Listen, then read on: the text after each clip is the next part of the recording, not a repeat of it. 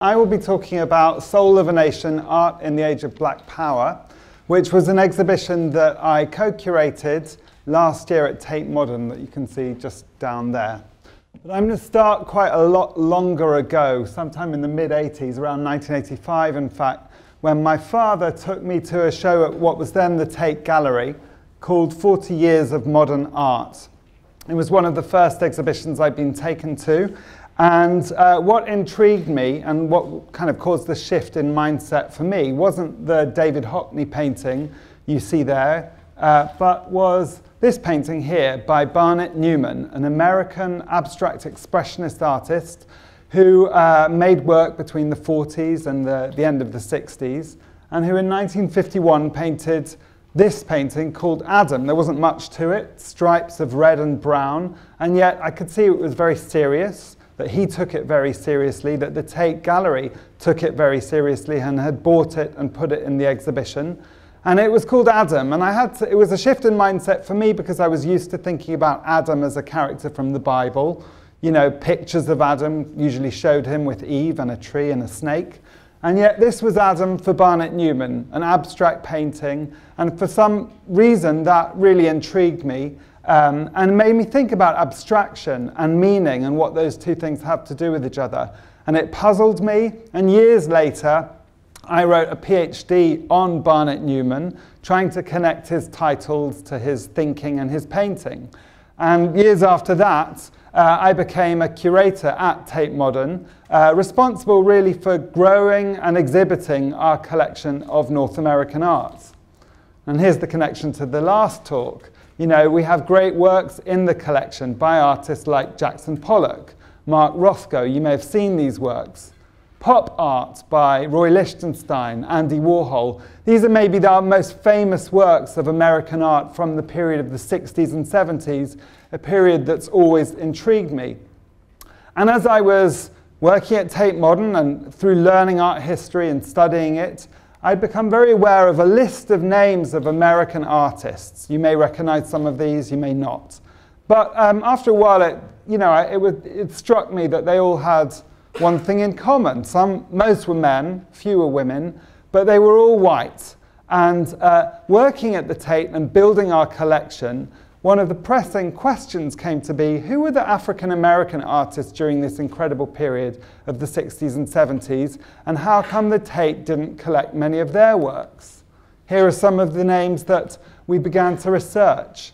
And through various efforts and through building uh, connections with Americans who gave us money to help us acquire work, uh, we began to acquire great works by the artists who were working in that same period of the 60s and 70s. An artist like Barkley Hendricks. This is him visiting the Tate after we exhibited the painting that we'd acquired of his. And then slightly older artists like Romare Bearden and Norman Lewis, working exactly at the same time as Warhol, Lichtenstein, uh, Jackson Pollock and Rothko, but always less famous internationally, less well known in this country. But we made these acquisitions and we bought them into the Tate collection. And as we do whenever we acquire a work for the Tate collection, we read extensively and did a lot of research. And the research revealed that these artists were writing a lot and debating with each other. And there was no coherent single idea about what an African American artist should be doing in these two decades, the 60s and 70s, which was a time, of course, of great uh, discord and tumult in America, and an important time for the African American community with the civil rights period, the Black Power moment, and so on. There was no single idea about what black artists should be doing, but a debate between them. And so another shift in mindset happened, which was the question could there be a, a, an exhibition, a temporary exhibition of loaned in works, but a temporary exhibition which really looked at this period and which looked at the debates between black American artists between the 60s and 70s. But slowly, everyone was convinced, and we began to work on this exhibition. And we was a team which included me, the person who came up with the idea, and a colleague called Zoe Whitley, who was the co-curator, and Priyesh Mistry, and you'll see pictures of them later. And we slowly developed an idea. And the big question when you curate an exhibition is how to organize it and what to include. Do you organize it chronologically?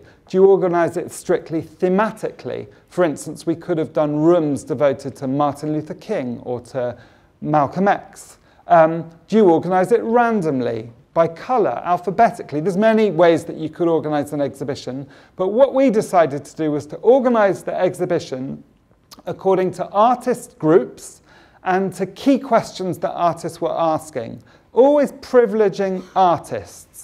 So that meant that when it came to exhibiting the work, we wanted to keep out the archival material, the documentary footage, and so on, and really make sure that, like any other exhibition at the Tate, all the work on the walls would look absolutely fantastic. Uh, and we wanted to get a sense of the groups of different artists, of different African American artists, but also of the disagreements between, between them. Um, this isn't the greatest slide, but this is what you would have seen in the first room uh, where we explained to our audience the key ideas behind the exhibition. Uh, so that we were celebrating the work of black artists during this period, and we were asked, looking at the question, how should an artist respond to political and cultural changes? Was there a black art or a black aesthetic? Should an artist create legible images, pictures of things, or could they make abstract work? Um, uh, was there a choice to be made between addressing a specifically black audience, or did artists hope to address a universal one? Where should they put their art, and so on? Should it be in museums or on the streets? And those were the key, um, the key ways that we organized the show and the key questions we asked at the beginning. This was the entrance wall to the exhibition, and just outside the exhibition we had some videos, but that, those were videos of leaders like Malcolm X and Martin Luther King, but once you got into the exhibition, all you saw was art. And I'll walk you through the exhibition. There were 12 rooms. You can just about see behind me the, the path that people took through the exhibition. As you came into the exhibition, you walked in on a first room that was devoted to an artist group that formed together in 1963 called Spiral. And that was the first artist group during this period to really pose the question, in, in what their language was at the time, is there a Negro aesthetic? The word Negro was proudly used by what we now call African American artists at that point. No one answer was given. Uh, Norman Lewis, whose work, black and white work you see there, would make abstract paintings, but Romare Bearden uh, would make collages. And that was an introduction to the exhibition, an artist-run space, an artist-run group with different artists posing different questions. The next uh, room looked at a different idea about artists who wanted to place their work on the streets. They weren't interested in showing their work in galleries or getting into museums, but directly addressing their audiences. It looked at Emory Douglas's work for the Black Panther newspaper, and it looked at murals that went up in Chicago and different cities, murals that were always depictive, but some of them that were abstract.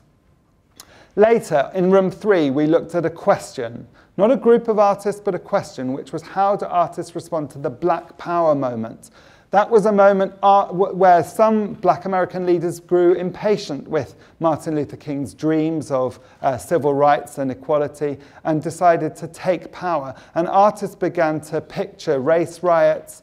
They began to think about um, atrocities visited on, on African American leaders, uh, such as a, a leader of the Black Panthers who was shot in Chicago by police shooting through his door. Dana Chandler made a door that was a sort of replica of the door that uh, this, this person was shot through.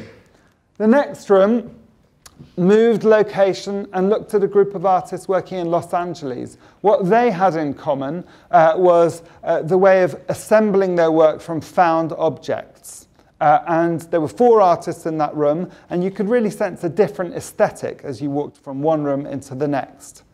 The next room looked completely different and was devoted to a group of artists working in Chicago, a group called the AfriCOBRA Artists, artists who were hardly heard about in the States. I mean, they were well heard about in Chicago, but you know, we had colleagues come over from New York and LA who didn't know these artists, and they'd certainly never exhibited their work in London. It was vibrant, it was colourful, and they wrote a manifesto for how their art should look. In the next room, we went back to Los Angeles and looked at three artists who chose to make uh, pictures, recognizable work, but in different ways. One of the greatest was David Hammons, who in the late 1960s would coat his whole body in grease and print it onto paper so to leave a trace of his body and create an image with what he called body printing. Then we walked into a room which looked back at New York and to a group of abstract artists who didn't make pictures but who were absolutely committed to thinking about what it meant to be black at this moment. And then into a room of photography, the great photographer Roy DeCarava, who wanted to figure out if there could be a black aesthetic in photography. And he wasn't just making pictures of civil rights marches, but was thinking about the use of black and white in his photographs and really achieving incredible tones. And then we walked into a room called Black Heroes. This wasn't an artist group, but a question, a bit question, a bit like the question how to figure black power. In this case, how to make a picture of the black hero. We included Andy Warhol here, his painting of Muhammad Ali at the back, but really the prime position was given to Barkley Hendricks, that artist I showed you before, whose work had entered the collection. A little later on, we got into another room about abstract painting, really adventurous improvisational work uh, and works by artists like Frank Bowling and Jack Whitten. And then a solo room devoted to the Los Angeles artist, artist Betty Saar, who in the early 70s began to research other cultures, not just African American cultures, but Haitian cultures, uh, Indian cultures, and so on, and to create shrine like objects and create an installation like what you see here. Finally, we returned to New York and looked at a group of artists who were associated with a private gallery called Just Above Midtown and who uh, turned to using materials from everyday life like chicken bones or greasy bags. And that was how the show looked. And at the beginning of the show, we received visits from many of the artists who are still alive. And it was a fantastic opening, and we were very pleased with ourselves. But the question became, the next question became, how do we market the exhibition? And once again, this involved a sort of change of mindset. This is how we normally market Tate exhibitions. You'll have seen these as you go through London, here at Camden Town, a billboard using a picture of that Barkley Hendricks painting. But it became clear uh, after a while that it was better to let others market the exhibition for us. Now, typically, people aren't allowed to take photographs when they visit Tate exhibitions. And we uh, looked at who was coming to the show and we realized we had to get rid of that rule and we had to allow people to take photographs and use Instagram. After a while, we got permission to do this. And therefore, you know, the, the exhibition became marketed by everyone who visited it um, many people posting on Instagram all the time. It was an effort, but it was fantastically well worth it. So people came and we could also see how they were enjoying the exhibition, what they were commenting on, whether they were taking their kids, what they were saying about the exhibition as a learning opportunity.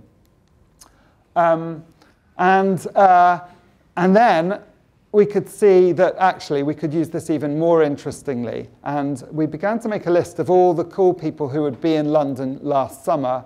And we got in touch with people who knew them and then we brought them to see the exhibition. It wasn't by accident that Jay-Z came to see the exhibition. It was by communicating with people that we knew knew Jay-Z. But this had a great effect. So when we invited John Legend to see the exhibition, he, we encouraged him to, but he Instagrammed about it. And then people, you know, saw his Instagram and came to see the show and would say, post saying, I'm standing where John Legend's standing. He saw this painting, I'm seeing this painting. And this is Naomie Harris that you'll know from Moonlight and from the Bond films. And here's Zoe and Priyesh, my co-curators, and they're with Will Smith when he came to visit. So there was a great, great buzz around the show that we were really, really happy about. We also had to change our mindset about how to begin the exhibition. Instead of an academic conference, we invited Spike Lee when Spike Lee came for the opening and gave a talk with our director, Maria Balshaw. Here he is promoting the catalogue that we published, and it was wonderful to have him there. Another shift in mindset involved music. We were aware at the beginning of the exhibition that many people in our potential audience would know the music of this period. You know, I grew up listening to James Brown, Aretha Franklin, John Coltrane, Sun Ra, Stevie Wonder, and so on.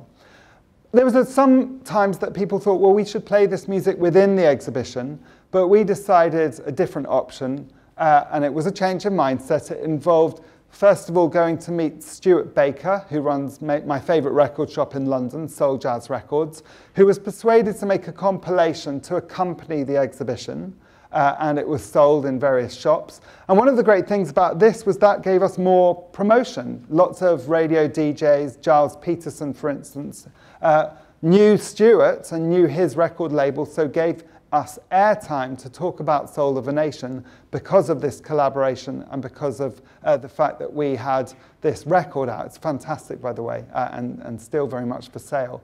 We also teamed up with Spotify and we created a playlist allowing people to download it as they walk through the exhibition or to download it once they got home.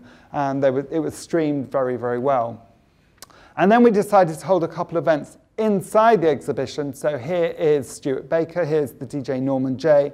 Uh, not uh, just, uh, you know, on certain Monday nights, we would uh, have closed sessions where people could come in and listen to the music of the exhibition from, uh, from within the exhibition. We did a film program and we did many, many visits. Here's a visit with a great group called Creative Access, which is set up to get people from BAME communities to work in the arts.